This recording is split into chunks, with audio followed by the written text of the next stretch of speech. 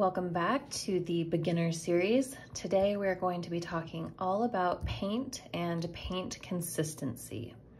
So when dot painting, paint consistency is probably one of the most important things. Um, if you guys watched the introduction to the beginner series, I mentioned how when I first started painting, I bought a paint set off of Amazon. I think it was an Arteza outdoor paint and it was so thick. So when I did my first painting, it came out horrible and um, mainly because I didn't have the skill yet, but also because the paint was way too thick and I just didn't know that yet. So I feel like it's really important as beginners to be aware of paint consistency and how that can affect the outcome of your painting. So today I'm gonna be going through um, and showing you a paint that is a little bit too thick and how to fix it, as well as a paint that is a little bit too thin and how to fix it, and then one that is just right.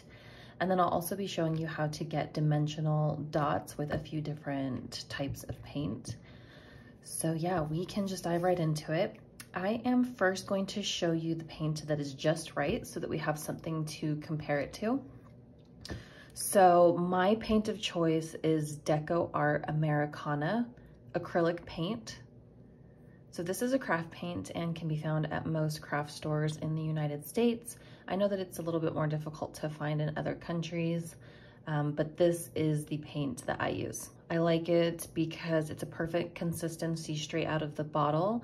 I also like that it's convenient to get at the stores, at the local stores. So if I run out of a color, I can just go grab it from the store. I don't have to order online and wait for it to get to me, which is important to me because I do a lot of paintings and I need to have easy access to the paint that I choose.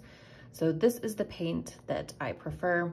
Again, the consistency is perfect right out of the bottle, which is so convenient. So this will kind of be the paint that we're gonna compare the other ones to.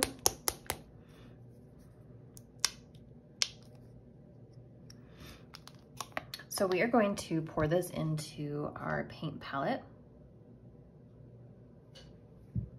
And as you can see, any mounds that were in there are self-leveling. So it is leveling out, smoothing out on its own, which is what we want. So I'm going to pour a little bit more just so you guys can see the texture. So you can see it's a little more runny but then when it comes down here, it's self-leveling. So those mounds are smoothing out on their own, which is what we want. So even if you don't have this in your country or it's hard to get, you can just look at the texture and consistency of this and try to get yours to match. So now I'm going to take a dotting tool and we're just going to look at the consistency of this paint. So when you lift it up, you can see that there's a mound of paint underneath. That is also what we want. And when you lift the tool up, you can see that the paint isn't peaking or if it does make a peak, it goes back down and self-levels again. So if you're lifting your tool up and it has peaks, that means it's a little bit too thick. But you also wanna be able to lift the tool up and have a little mound underneath, and that's going to help us get a nice round dot. So another important thing when making your dots if you just push down hard, sometimes it can make the dot a little bit uneven or sometimes it can get little ripples in it. So what we like to do in the dotting world is called kissing the surface, which is where you're just like lightly hovering. And sometimes I do little tapping motions to get a little bit more paint off and get that nice mound. We want that nice mound. You want a mound and not like a nipple looking thing. If it has like a nipple or a peak, that means the paint is a little bit too thick. So we want just the nice little mound. So I always look underneath my tool and just make sure that there's some paint coming off. And then when you lift up, there should be a mound.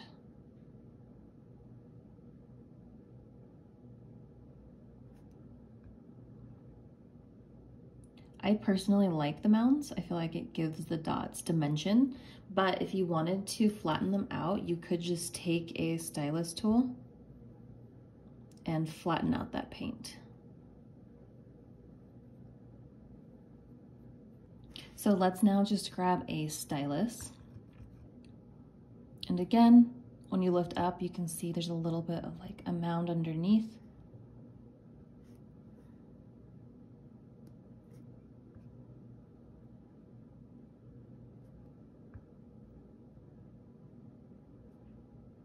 and that is making perfect dots. We can also do like a little swoosh.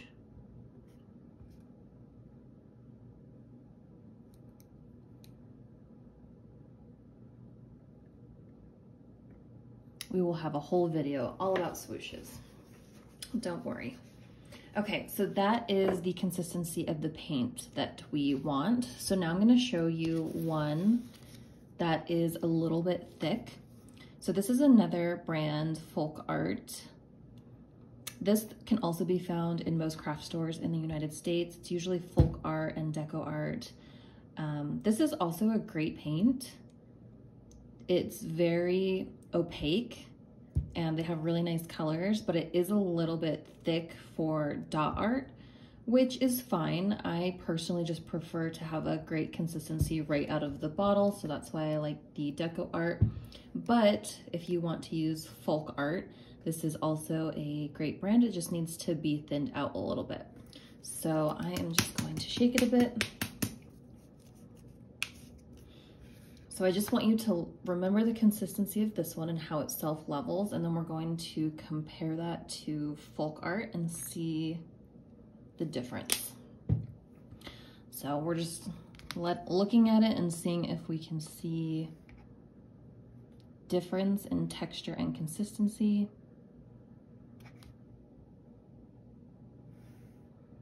So as you can see, this one just has a little more body, more texture. It's not leveling out as flat as this one. You can still see some of the mounds and ripples. And that is how we know that it's just a tiny bit too thick. So let's just test it out and see if we can notice any difference. So I'm just taking a dotting tool. And I know it's like very subtle, but when we lift up, see that peak? And then also when we look underneath, it's not so much a mound like this one was, it has more of a point. And that is also how we know it's just a little bit thick. So let's try making a dot.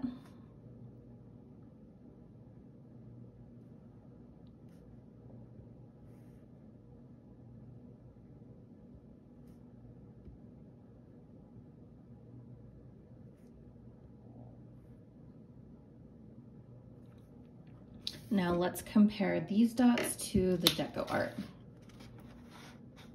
So I know it's hard to see on camera, but these ones have more of like a peak or a mound.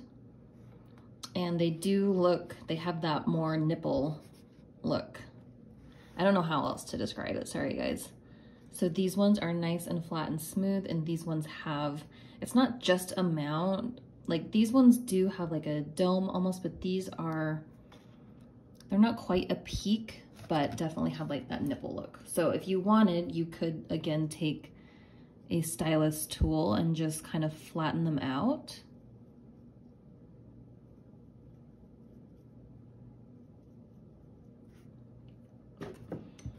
And again, that looks better, but it still leaves like a little bit of a peak. So these are just textured almost, whereas we want the dots to be really nice and smooth.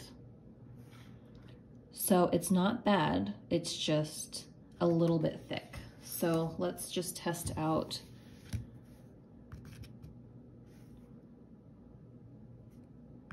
some dots.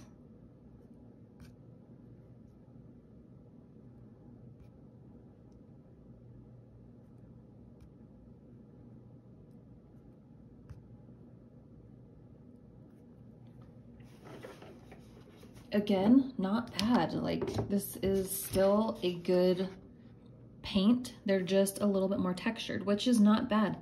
Sometimes people want their dots a little bit more textured and to have that shape and mound. So I definitely just recommend if you're a beginner and say you're gonna go to the craft store to pick your paint, I definitely recommend just grabbing a few different brands of paint, maybe just one bottle of each in the same color, and just test them out. Test out dots and see what you like best. There's another brand, I think at Michael's or Hobby Lobby, it's called Anita's. And they have really pretty colors too. And I grabbed some before to try and I just found that the texture was really sticky.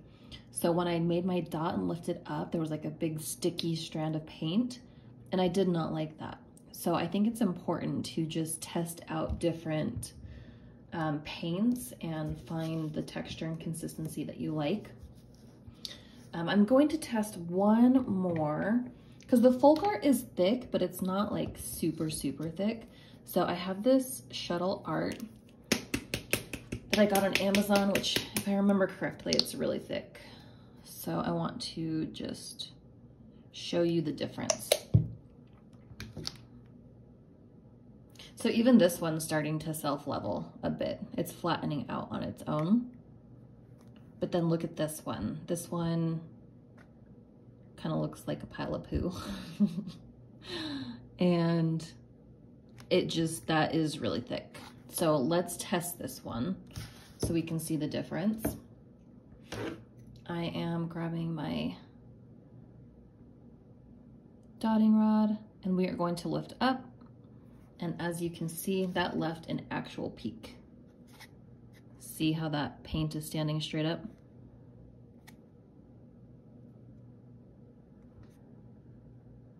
And then look underneath and that has a spike. So that just means this is a little bit too thick. And I'll show you what it looks like when we make a dot.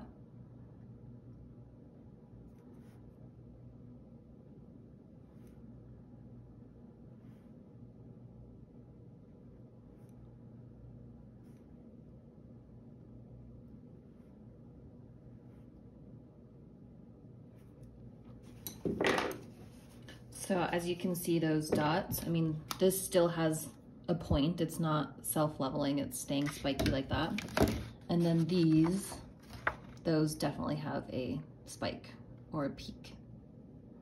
So some people like that look, but in dot painting, we do a lot of top dots where we let the first dot dry and then do a top dot on top. These ones would be really difficult to top dot. Again, if that's the only paint that you have to work with, you could take a stylus and flatten those out a little bit. But even where you lift up the tool, there's going to be a little peak. So it's better, but not perfect. You're still gonna have that little, that little peak there. So this is a good paint to show you how we can thin it out. So we will use this one. And then I like to use um, if the paint is too thick, I like to use a fluid medium. So this is my fluid medium of choice, Liquitex Basic Acrylic Matte Fluid Medium. So this I also can get at my local craft stores or on Amazon, um, but this fluid medium will thin the paint out. You just wanna look for a fluid or flow medium, something that is going to make your paint thinner. So this is our thick one here. So I'm just going to start with some and then I'm just grabbing a mixing brush.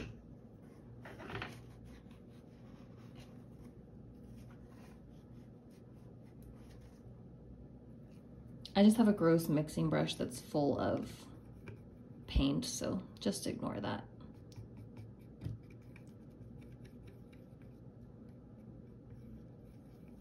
So we are just making sure that is all mixed together. And then as I'm mixing, I'm going to lift up the brush and see if we're still getting those peaks. That is a way that you can tell if the texture is still too thick. Lift up the brush. Are you still getting peaks? Yes, we are. So we just need to add more.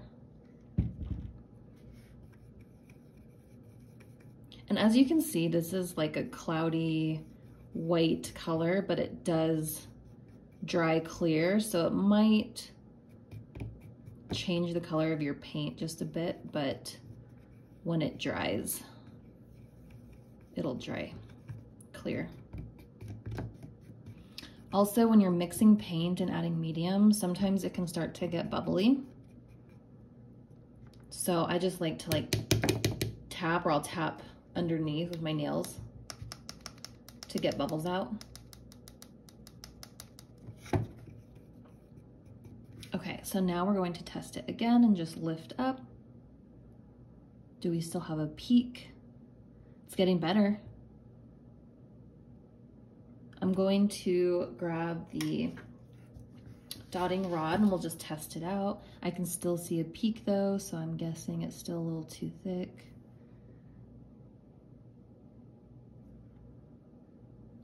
So see how that still has that nipple. So we want to add some more.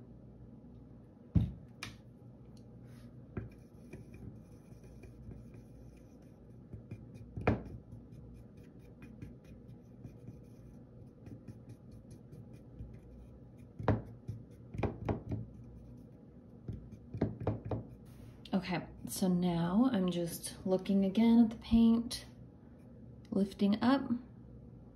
It's becoming more of a mound. And we're just trying to see if this peak goes down, which it is. So I feel like we're getting close. We will just test it.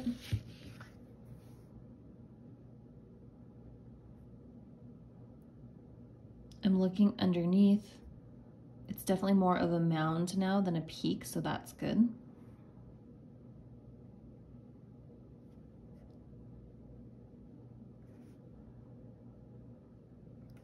And it's starting to flatten out a bit. It still has a little bit of a mound. So we can try just making this a little bit thinner. I'm running out of room in my palette, so I need to remove some of that paint. Okay, so we are just going to add a little bit more of that fluid medium, and then I think that we should be good.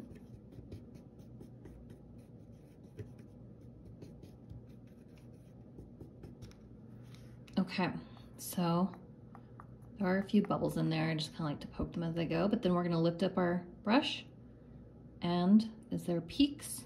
It's more of a mound and it is self-leveling pretty quickly.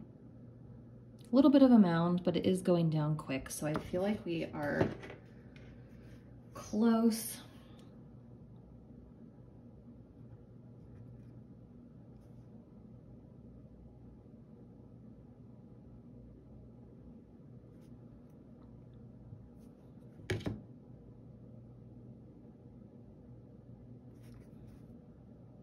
So I feel like that is probably as good as it's gonna get.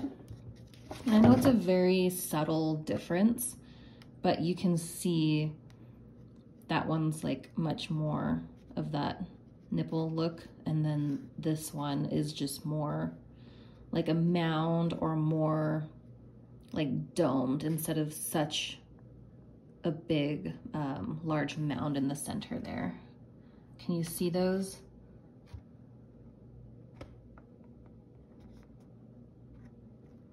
So you can just see this one is a little bit more thick paint and then you can see the difference as we thin it out. It gets more flat.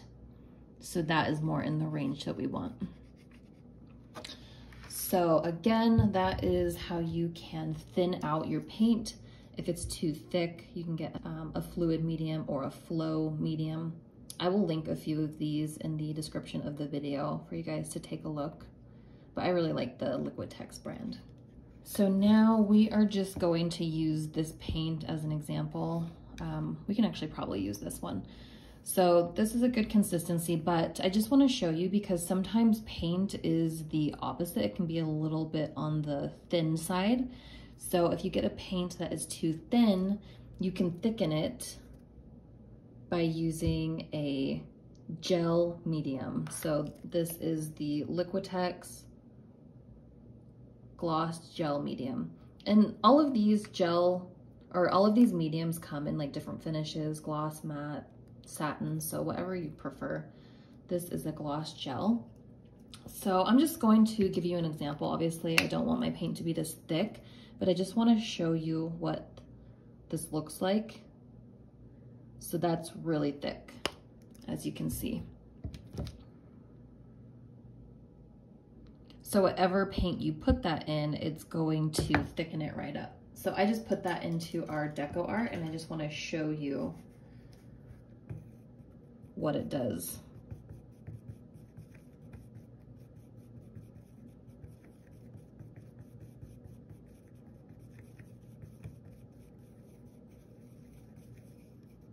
So it just gave it a little more body. We can test it out with our dotting rod.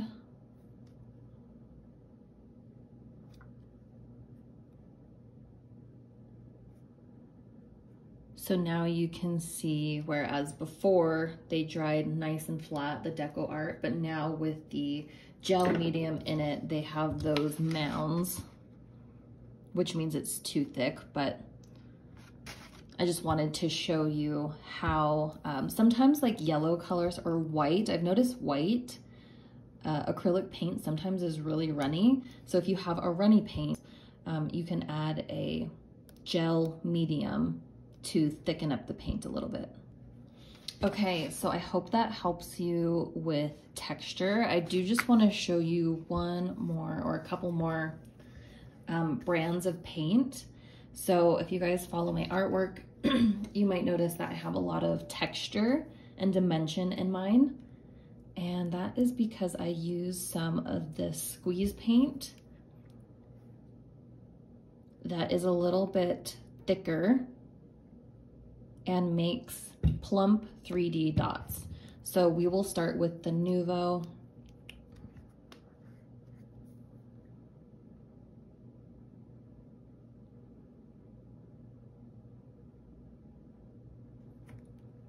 So if you want these like pearl looking paints, then something like Nuvo is great. Um, these are also bliss drops. These are made by a fellow dot artist, Tara with Deserted Bliss. And these are very comparable to Nuvo. I am going to show you what these ones look like.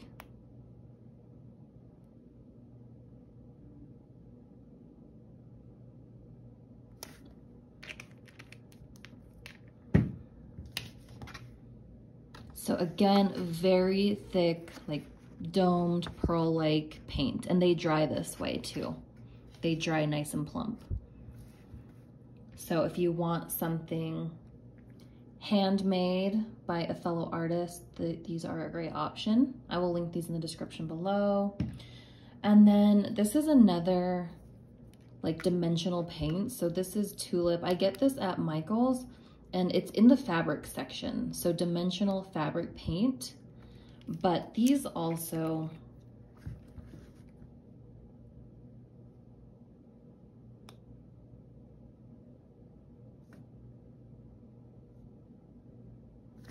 make nice dimensional dots. The only downside to the tulip is that they leave peaks like a Hershey Kiss, which I do not like but they do make nice swooshes. So if you take a dotting tool and you go right down that peak.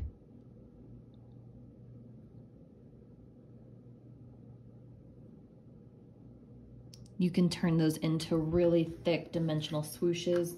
We'll go over this more in our um, swoosh video, but I just wanted to show you that um, you can also use these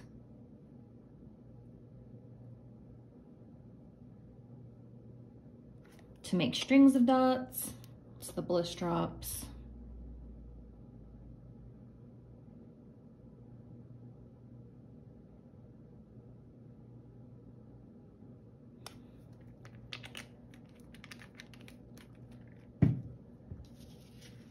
So there we have some different texture and dimension on those. These all dry raised like that. So if that's what you're going for, those paints are great options. Um, definitely just check out your fabric section at your craft store and see if they have dimensional fabric paint. Nuvo drops are usually used for like scrapbooking. So I buy these, the manufacturer is called Tonic Studios. That's who makes this. So you can buy these on the Tonic Studio website. They are sold out of colors a lot of the time, so I will buy from either Tonic Studios or scrapbook.com or Honeybee Stamps sells these. I don't know if they're available in all countries, but if you just Google Nuvo Drop Paint, you will hopefully have a few sites come up that sell these. Again, these are bliss drops made by Tara at Deserted Bliss another fellow artist, and I will link these paints in the description of the video. And that is all I have for you guys on paint consistency. I hope that this helped you get an idea of what the paint consistency can be like. I just want to remind you that if you don't have deco art, that's totally fine you can just find a paint that you like and then use either a gel medium or a fluid or flow medium to get the consistency of paint that you like. If you guys have any questions, please leave them in the comments and we will see you on the next video. If you are interested in learning more from me, I teach weekly live classes over on Patreon. Once you become a Patreon subscriber, you will have instant access to a library of all of my past classes. I also share other things on Patreon, such as my color palette recipes and exclusive discount codes to your favorite dotting suppliers. There is also a 24 hour group chat where you can interact with myself and the community and share photos of your work and ask questions. And you will also have access to Patreon Messenger where you can message me at any time. All right, I hope to see you guys over on Patreon. Details are located in the description of this video.